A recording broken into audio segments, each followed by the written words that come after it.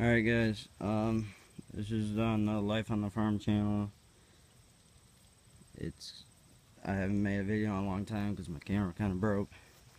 So, I gotta use my phone now, if, it, if I can figure this out. These are the ducks. I started with 10, then I moved up to 60, sold 40 babies, and sold a couple here and there, and now I have a whole bunch more babies, and I have more mom setting. I don't know if they're gonna hatch or not. But. And then those, a whole bunch of those are juveniles. There's two adults right there. There's two. The juveniles are growing really quick. I think we're gonna be butchering them, uh, some this weekend. Those two are like probably drakes. Maybe butchering some of them. And I sold some last weekend. There's the nesting boxes. That one got a hole in it. Probably gonna need to replace that.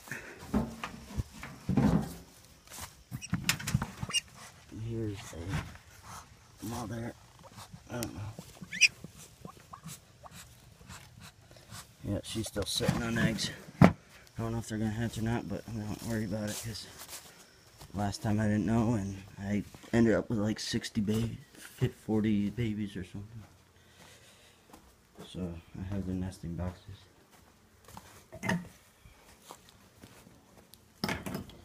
And we got we got pheasants.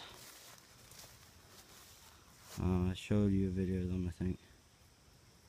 But I don't want to get too close because they go nuts. But my dad had put some of the peepers on them so they don't peck at each other. The little blue thing you can maybe see. Uh, they seem a little more tame. See, that's a peeper on that guy right there. They don't see as well and they won't peck each other because they'll peck each other really bad. But they're really beating down this area. It's a pretty big area. You have to cover it because you don't want to clip their wings and don't want them flying around. Uh, there's the automatic water. As the tube goes up through there and connects us, connects to the hose.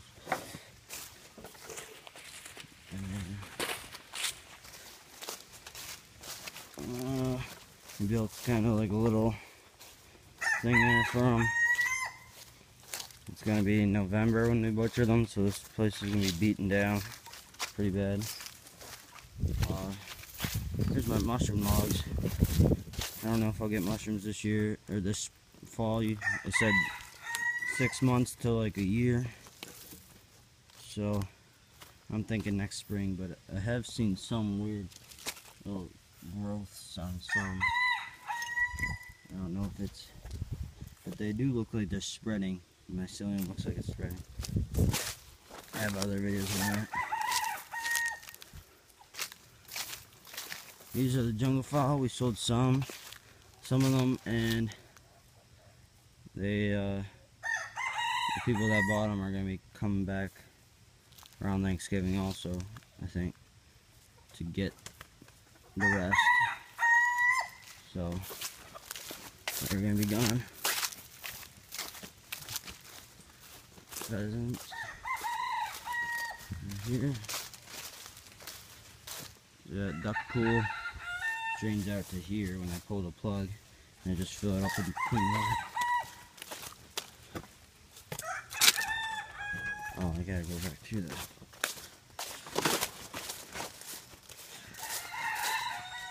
The regular chickens over there. These are all the rabbits. Indoor rabbits. We got a whole bunch of younger ones that are probably going to be butchered this weekend. The ones inside grow faster, but they eat more, so. And this one's a little smaller. Then I'm going to be probably breeding two more rabbits before winter so we can get meat over the winter. Or before fall.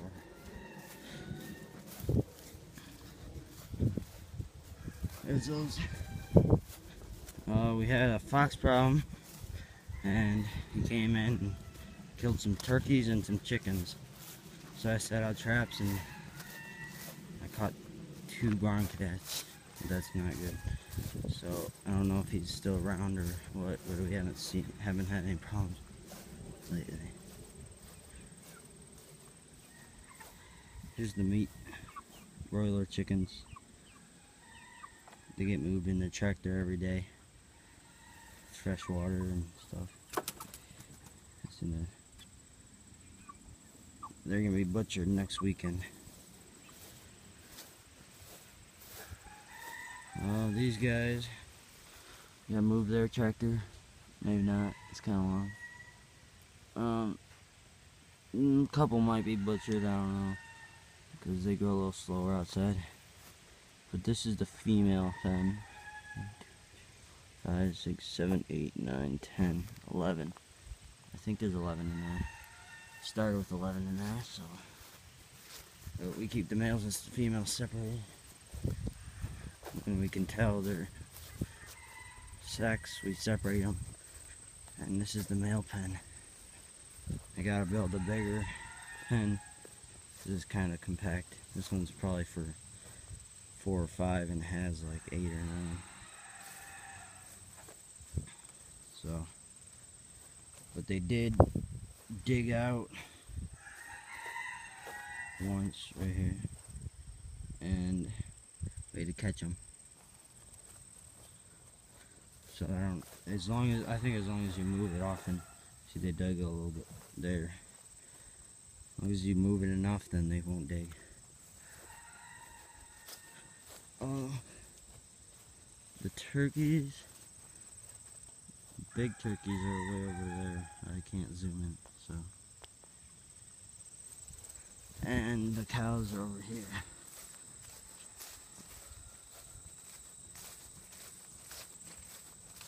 Eating. There's the cows.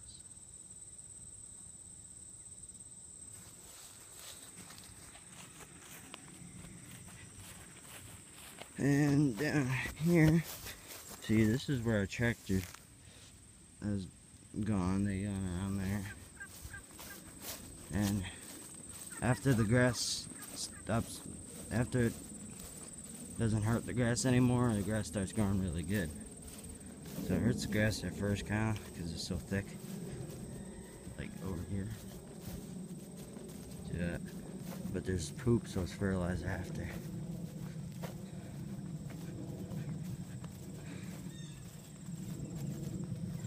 And this is the turkey tractor. Turkey and rock.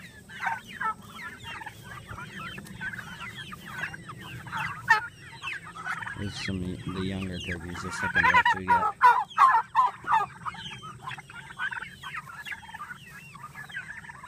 So they're ready to be moved. So, thanks for watching. I'll probably be making some more videos. Um, just maybe if I can get this on, I can make more videos on stuff. So, thanks for watching. Bye.